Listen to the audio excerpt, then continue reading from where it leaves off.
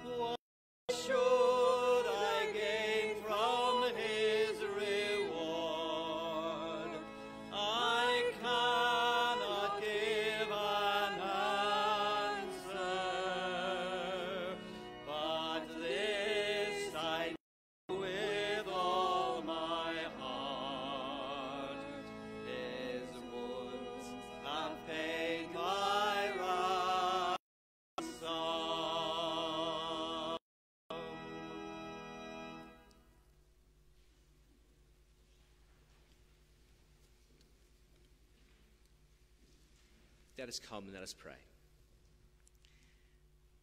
Father, we thank you that we worship here this morning because of your love for us. We thank you that we can do this because of the price that's been paid by your Son. Dear God, you love us and care for us so much. And for that, we are so grateful. We are so thankful. But Lord, we know at times we are forgetful about that, and at times we don't say thank you.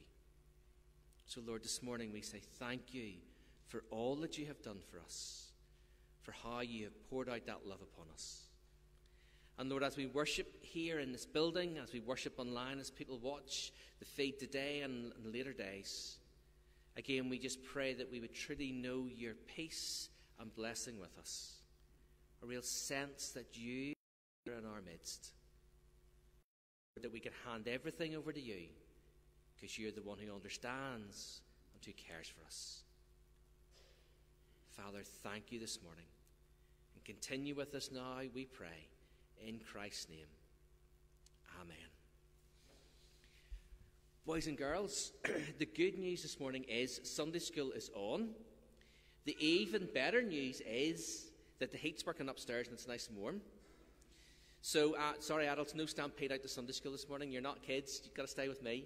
So, but before you do that, boys and girls, I have to. I want to ask you a couple of questions.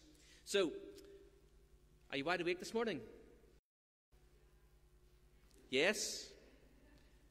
Let me see if I can show you a picture and ask you if anyone knows. It's a boat. If anyone knows what type of boat this is. A sailboat. Very good. Not quite. Joe? A fishing boat? Well done. Has anyone here ever been fishing? No. I think some of the adults might have been fishing at some stage. Can you imagine if you were out in a nice quiet spot fishing this morning? What do you need to go fishing? You need a fishing rod. Did you see my slides this morning? What else might you need to go with your fishing rods? It's for catching fish. Yes, well done. You need to put something else onto your fishing rod. What else do you need to put onto the fishing rod, Joe? Baits. That will come, but you need to do something before that. How about putting on a fishing rig?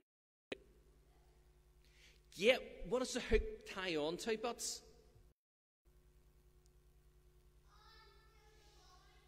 Fishing line. And then, whenever you've got your fishing rods, you've got your fishing reel, and you've got your line, you're still missing something. You're missing something that will attract the fish, aren't you? So, how about something like that? Doesn't that look nice and shiny? And it's got all these hooks on it as well to hook the fish. That's sometimes called a lure, or depending if you do a different sort of fishing, you might call it a fly. Or maybe if you go fishing the good old fashioned way, it might just be a plain hook with a worm and maybe a limpet on it as well. Something that will attract the fish. Well, boys and girls, do you know that Jesus said something to his disciples a long, long time ago? He said this to them, and this is what you're going to learn about this morning out in Sunday school. In Matthew chapter 4, verse 19. Come, follow me, Jesus said and I will send you out to fish for people. Or some people might have learned it in an older version that says, I will make you fishers of men. Jesus was telling his disciples that he was going to use them to draw people to himself. Now, if you think of that fishing rods, if you think of that lure that's on the end, that, that nice bright fish with hooks on it, that's designed to attract the fish. But whenever we are out being the fishers. God says it's our lives, boys and girls, that attract people to Him. If people can see how much God cares for us, how much He loves us, if they can see how we rely upon Him, if people can see our hearts, just how we love God and how He loves us, then that's what will attract people to God. You know, people watch us all the time, boys and girls. Does the teacher watch you in school? Parents watch you at home? And sometimes parents will say, whenever you're out and about, behave because everyone's watching. We're all really nosy. We all watch each other. Well, it's the same for us as Christians. People watch what we do, and it's how we live our lives that attracts people to God, and that's what makes us fishers of people. That's a story that you're going to learn about this morning, and I trust that as you hear that story this morning, that you would understand it, that you would learn about it, and that you would want to attract people to God. So, do you think you can go out and learn that from me this morning? You're all very shy this morning. Well, here, I know what do, need to do. You need to wake up this morning. So, who's going to help me sing? Me? Yeah, well done. We've got a song which you know, which is called I Have Decided to Follow Jesus. It's got some actions to it as well if you want to follow along with the screen. But let's stand and let's sing this one together.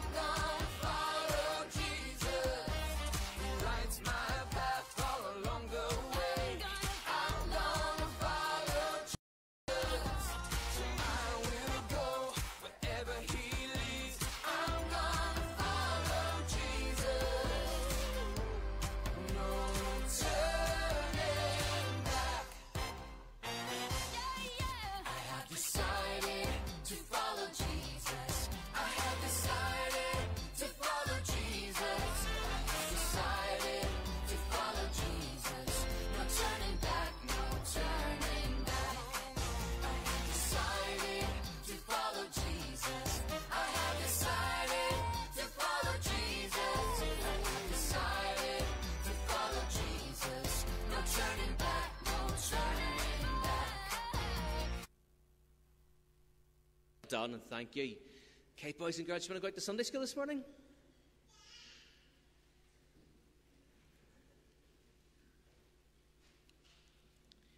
It's a bit warmer out there, I promise you. It is.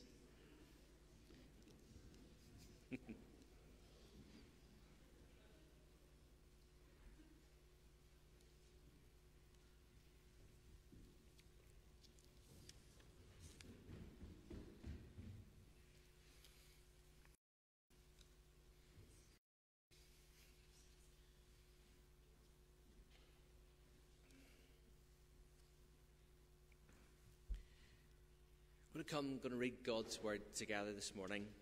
Our reading is from Isaiah chapter 1. Um, Phil, I might go on a verse or two more than what's there, I'm not sure, but it stop, cuts off, but I'm going to go on verses 1 to 20. I'm going to start a series um, just the start of the year on Isaiah um, and on the visions that he has. But let's just read the start of Isaiah chapter 1 together. The vision concerning Judah and Jerusalem that Isaiah, son of Amos, saw during the reigns of Uzziah, Jotham, Ahaz, and Hezekiah, of Judah. Hear me, ye heavens, listen, earth, for the Lord has spoken. I reared children and brought them up, but I have rebelled against me. The ox knows its master, the donkey its owner's manger. But Israel does not know, my people do not understand. Woe to the sinful nation, a people whose guilt is great, a brood of evildoers, children given to corruption. They have forsaken the Lord's, they have spurned the Holy One of Israel and turned their backs on him. Why should you be beaten any more? Why do you persist in Your whole head is injured, your whole heart afflicted. From the sole of your foot to the top of your head, there is no soundness, only wounds and welts and open sores, not cleansed or bandaged or soothed with olive oil. Your country is desolate, your cities burned with fire. Your fields are being stripped by foreigners right before you, laid wastes, has been overthrown by strangers. Daughter Zion is left like a shelter in a vineyard, hut in a cucumber field like a siege. Unless the Lord Almighty had left us some survivors, we would have become like Sodom. We would have been like Gomorrah. Hear the word of the Lord, you rulers of Sodom. Listen to the instructions of our God, you people of Gomorrah. The multitudes of your sacrifices, what are they to me? says the Lord. I have more than had more than enough of burnt offerings, of rams, and of the fat of fattened animals. I have no pleasure in the blood of lambs and goats. When you come to appear before me, who has asked this of you? This trampling of my courts. New moons, Sabbaths, Sabbaths, and convocations, I cannot bear your worthless assemblies. Your new moon feasts and your appointed festivals I hate with all my being. They have become a burden to me. I am weary of them. When you spread out your hands in prayer, I hide my eyes from you. Even when you offer many prayers, I am not listening. Your hands are full of blood. Wash and make yourselves clean. Take your evil deeds out of my sight. Stop doing wrong. Learn to do right. Seek justice. Defend the oppressed. Take up the cause of the fatherless. Plead the case of the widow. Come now, let us settle the matter, says the Lord. Though your sins are like scarlet, they shall be as white as snow. Though they are red as crimson, they shall be like wool. If you are willing and obedient, you will eat the good things of the land. But if you resist and rebel, you will be devoured by the sword. For the mouth of the Lord has spoken. Amen.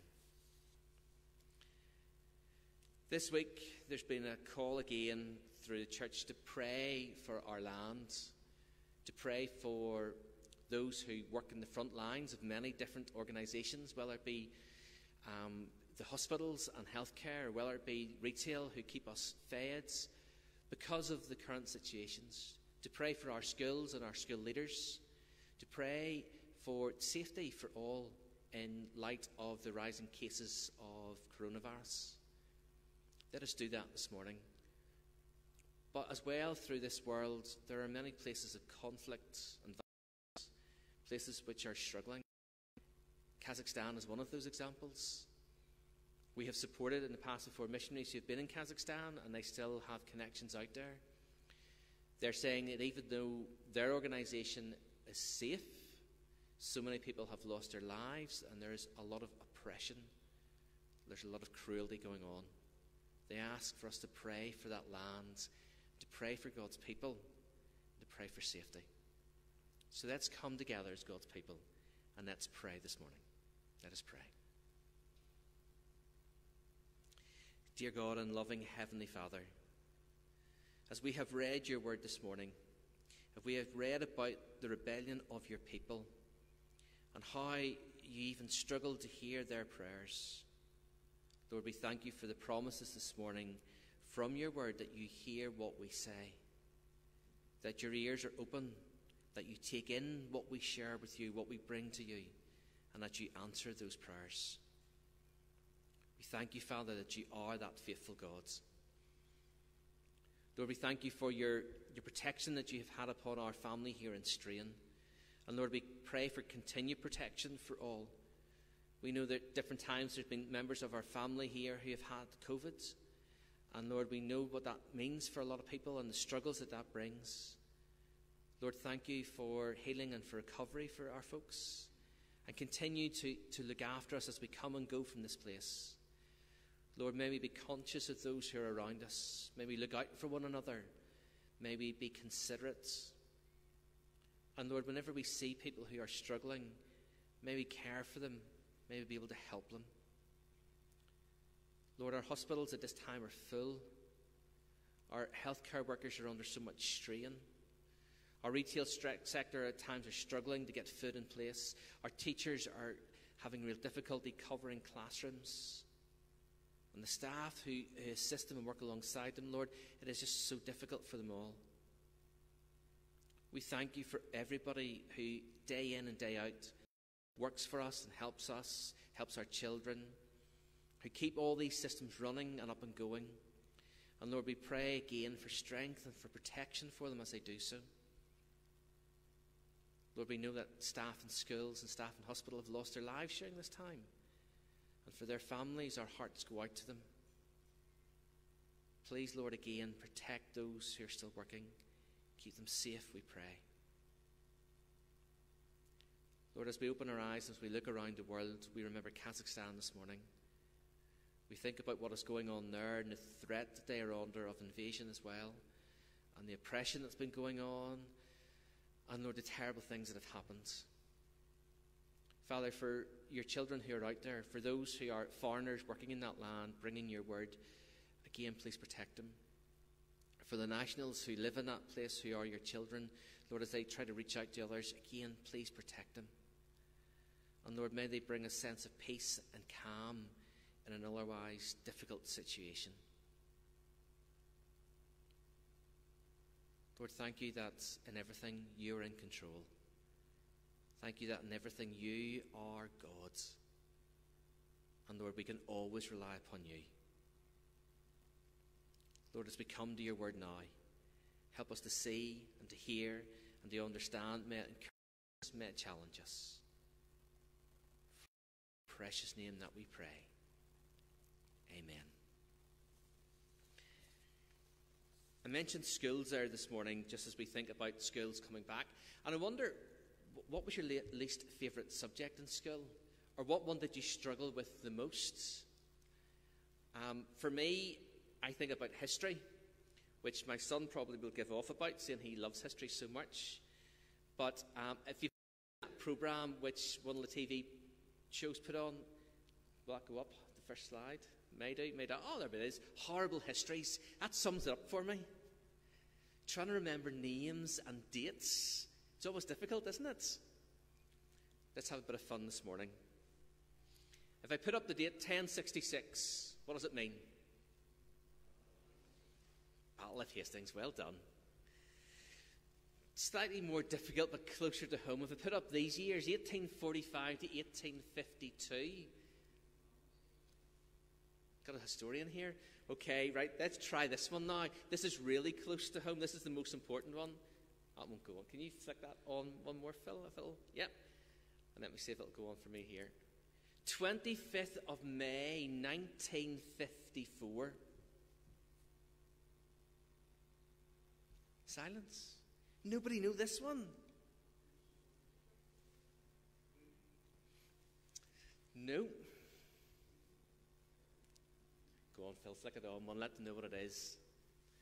The foundation of Tayto. That's a bit of local history.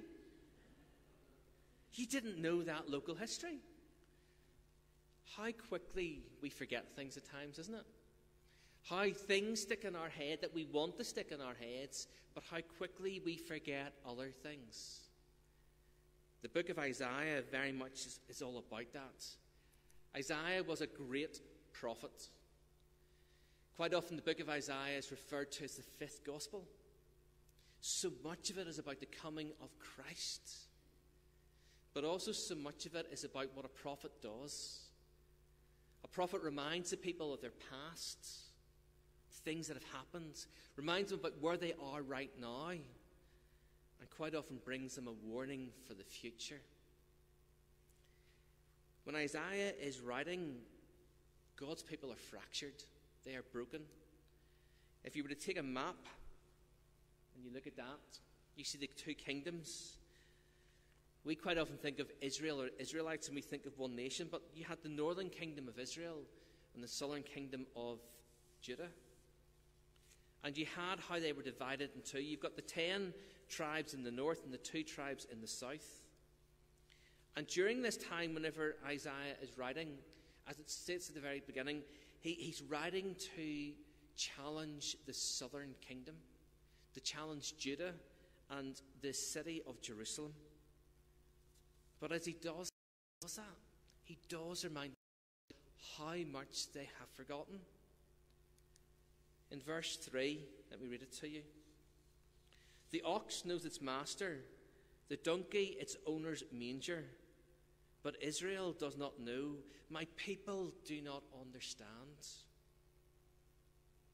How quickly they have forgotten how faithful God was to them, how quickly they've forgotten what God has done for them, how quickly they choose to leave it behind. All that blessing, all that outpouring that God put upon them, and they turn their back upon Him and they neglect Him. You know, as I read that, it made me think about how often do we forget? How often do we let things slip and we don't recall them? How often do we forget what God has done for us?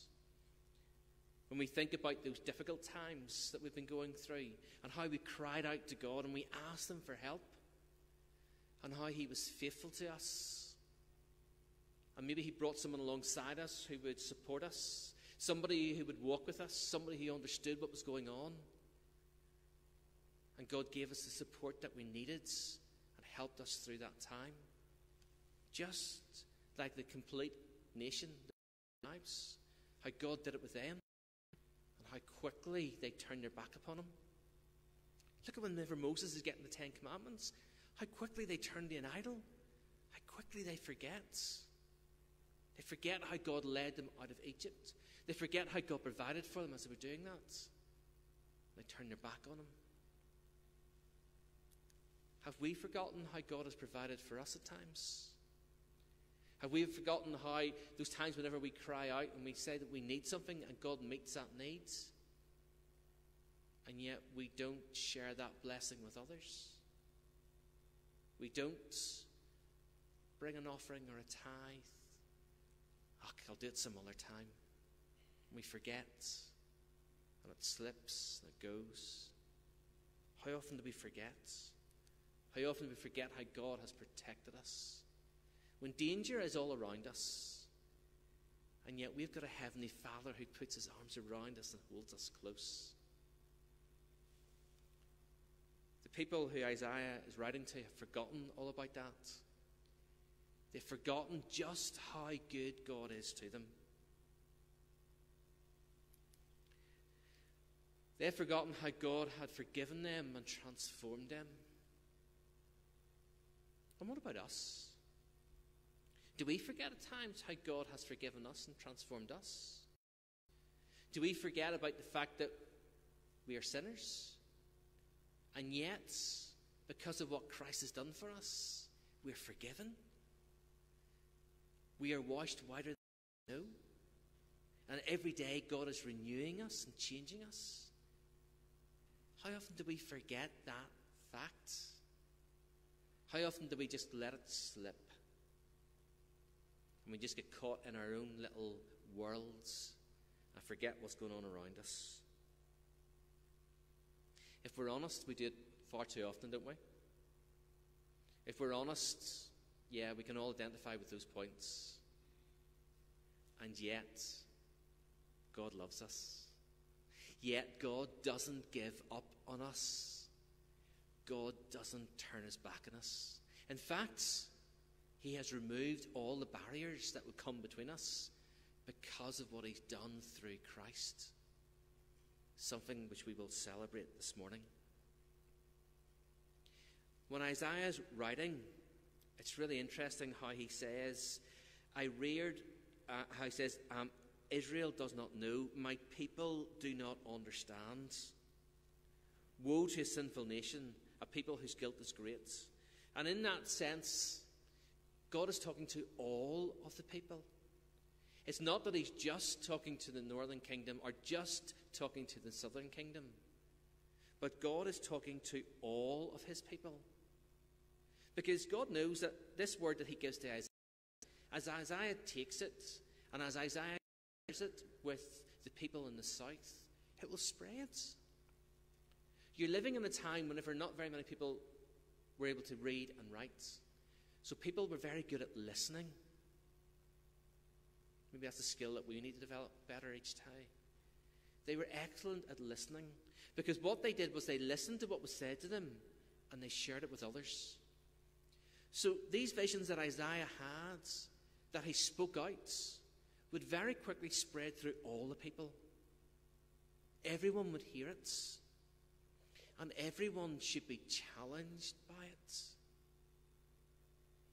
And we're the same with God's Word. How many of us feel separated from other Christians? How many of us feel that we are divided? All we've got to do is count the number of churches in town to know that.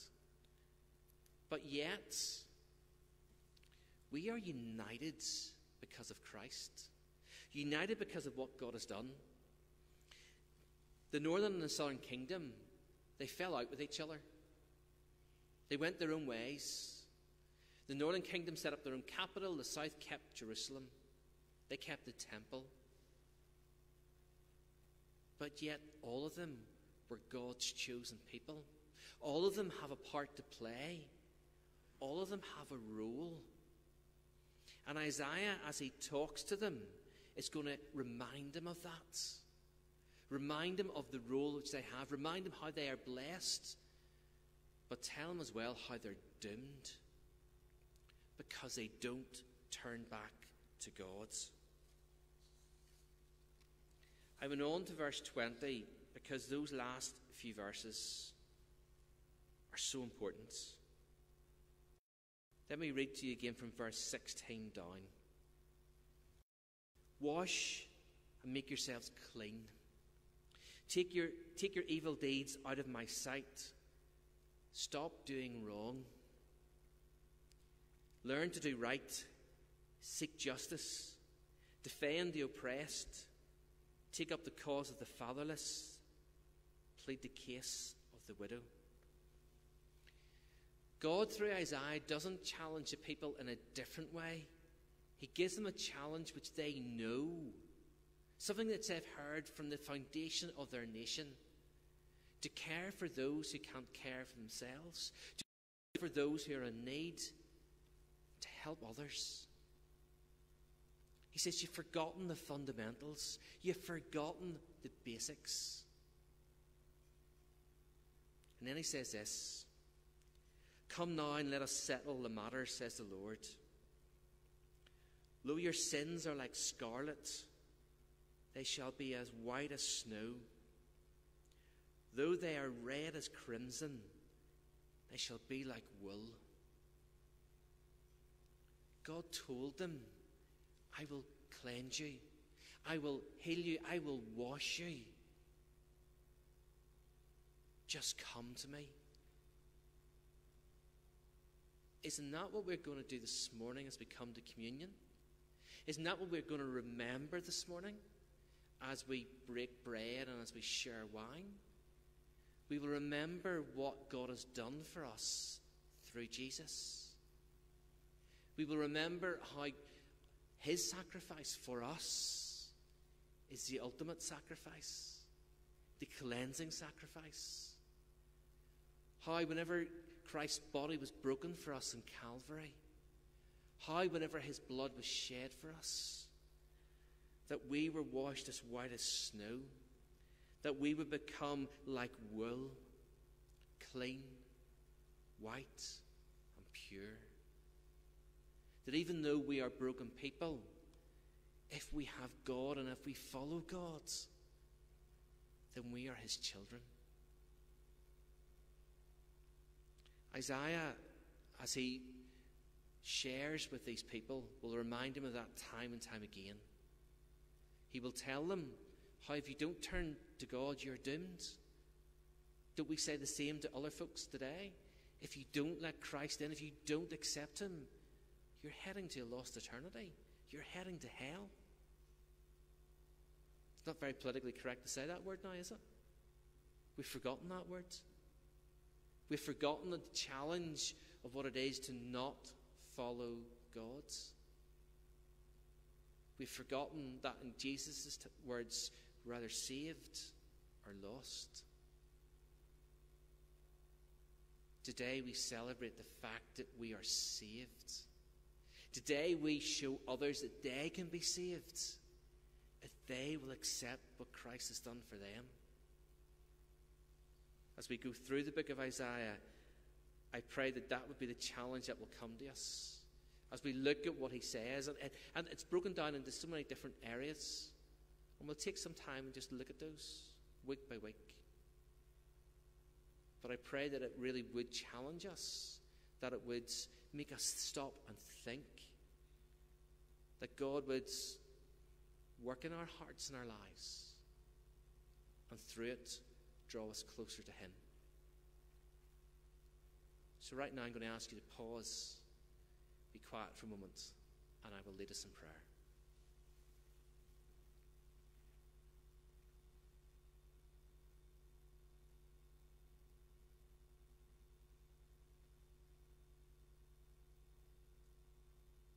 Father, thank you for all that you have done for us. Still our hearts now, we pray. Draw us close to you. Help us to know your presence beside us. For it's in Christ's name that we pray. Amen. In a moment, I'm going to ask you to sit and listen to the words of a modern piece. I want you to listen to the words because this, this piece is called Grace. And the words are incredible. And just as we come to communion this morning to hear these words, let's use them as a prayer. But as we come this morning, we are a family. As a family, we will celebrate communion. If, you, if you've forgotten the bread and wine this morning, don't worry. We're going to be following through some words on the screen and we'll follow those through together. But we are a family. So this morning, as a family, we're delighted to welcome David and Florence and Julie Beatty into full membership here in Strean. So as we come as that family this morning, let's hear these words. Let's use them as a prayer.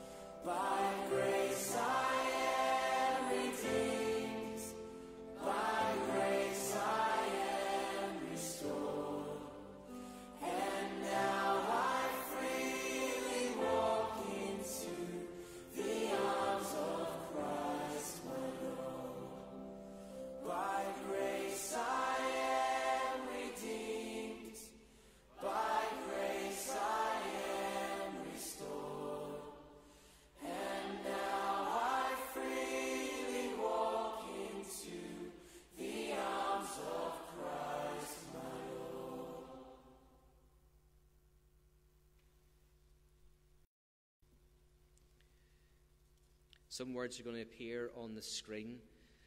The words that are, are light, I will be saying by myself. The words that are in bold, I invite you to say along with me. But as you look at that picture of the bread and the wine, hear these words said by Jesus, taken from John chapter 6. Very truly, I tell you, the one who believes has eternal life. I am the bread of life. Your ancestors ate the manna in the wilderness, yet they died. But here is the bread that comes down from heaven, which anyone may eat and not die. I am the living bread that came down from heaven. Whoever eats this bread will live forever. This bread is my flesh, which I will give for the life of the world. We are the people of God. We are the body of Christ. We are scattered, and the body of Christ is broken. But as we gather, the body of Christ is remembered. So together, we gather in obedience to Jesus' command to remember and to share together in breaking bread and drinking wine in remembrance of the death of Christ. Each piece of bread that we eat was once scattered across the fields, and the grain that God gave to grow has become for us the bread of life. Each sip of wine that we drink was once many vines, and the grapes that God gave to grow have become for us the new wine of God's kingdom. In our communion with one another, we are fed with the bread of heaven that sustains us, and we drink the wine of gladness that brings us joy. Hear these words taken from Paul as he writes to the church in Corinth in 1 Corinthians 11. For I received from the Lord what I also passed on to you. The Lord Jesus, in the night he was betrayed, took bread, and when he had given thanks, he broke it and said, This is my body, which is for you. Do this in remembrance of me. In the same way, after supper, he took the cup, saying, This cup is the new covenant in my blood. Do this whenever you drink it in remembrance of me. For whenever you eat this bread and drink this cup, you proclaim the Lord's death until he comes. So now, following Jesus' example and command, we will take this bread and this wine the ordinary things of the world which Christ will make special. And as he said a prayer before sharing, let us also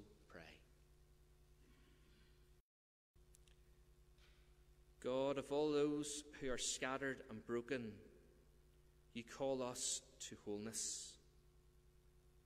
We thank you for your love, demonstrated in the giving of your Son that we might be united with you. We thank you that in Christ you enter into the pain, uncertainty, and fear of our worlds, and that your arms are open in loving embrace, gathering us to you as a mother hen gathers her brood under her wing, as a shepherd gathers his flock. We thank you for bread and wine, symbols and signs for us today of your faithfulness to your people through all generations. Amen. Jeremiah said, Hear the word of the Lord, you nations, and declare it in the coastlands far away. He who scattered Israel will gather them and will watch over his flock like a shepherd. Lord, this bread scattered over the hills was brought together and became one loaf. So, Lord, may your church be united and brought together from the ends of the earth into your kingdom. Remember Christ said, This is my body, which is broken for you. So let us together share this bread, remembering the broken body of Christ. Body of Christ.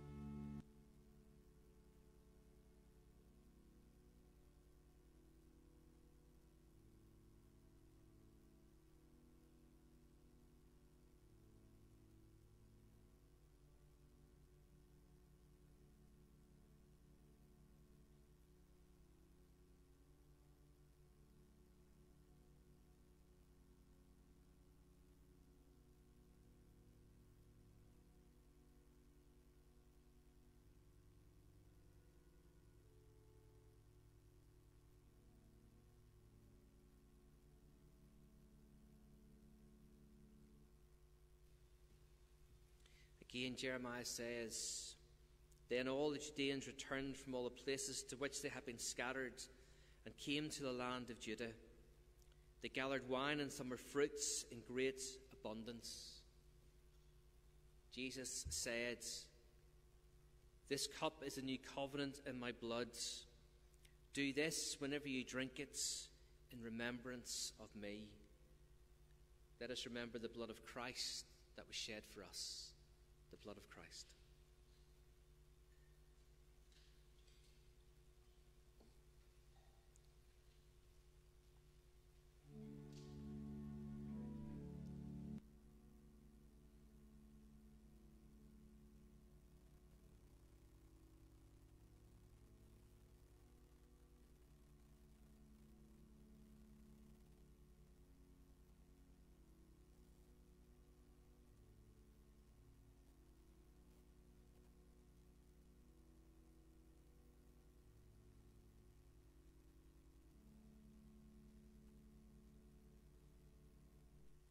Let us pray.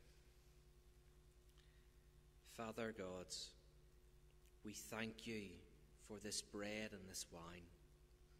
We thank you that we have shared them together, shared your, the body of your Son Jesus broken for us on Calvary, shared the wine which reminds us of his blood which flowed down that hillside, the perfect sacrifice for our sins. Lord, through this sacrifice of your Son, He was our substitute. He took the price of our sin. Through His death and resurrection, we are restored in our relationship with you. And one day, Father, we know we will be united with you in heaven. We know that you are making ready our place to be with you. Father, this is love so amazing, so incredible that we, we find it difficult to. But Lord, we thank you for all that you have done for us. Lord, help us in how we live our lives each day to, to, to witness to those who are around us, to show them how much that you love them, so that they too, Lord, would come to put their faith and trust in you. Lord, as we shortly leave this building, we ask that you would take us home safely, that you would take us with your blessing, that you would gather us again next week in your will as we continue to grow closer to you and to learn more about you. But Lord, for the week that lies ahead, that your hand of blessing would be upon each and every one of us, that you would keep us safe and help us just as we seek to live our lives for you. Father, thank you. For it's in Christ's name that we pray. Amen.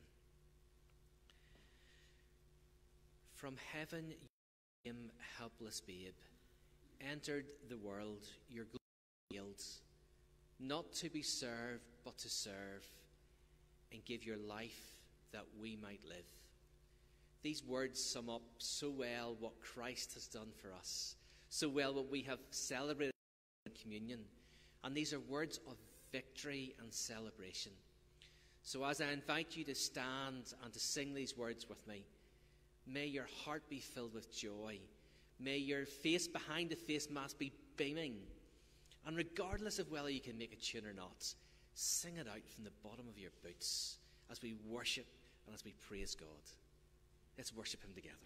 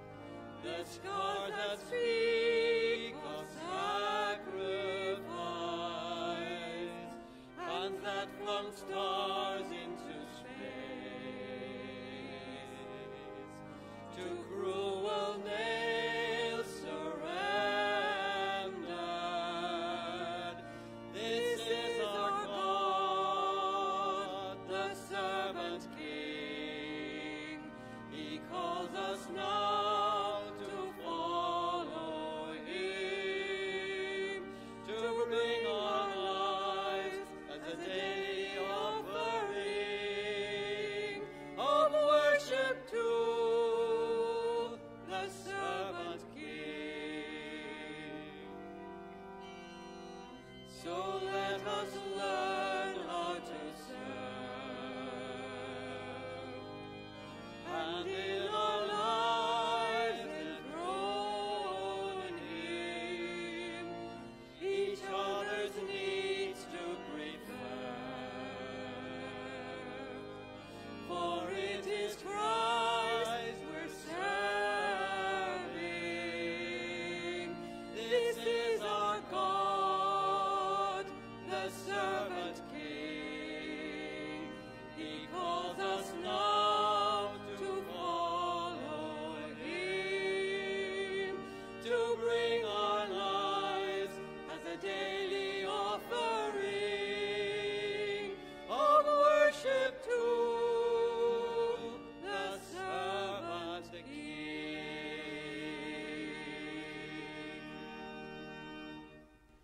us pray.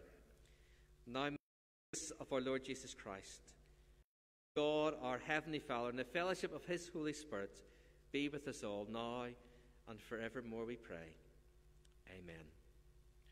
Folks, thanks for being here this morning. As normal, our one way system is in operation. And as you leave the building, just give each other a little bit of space. Um, I don't think the temperature will be encouraging you to hang around this morning indoors anyway. Um, but may you know God's peace and God's blessing.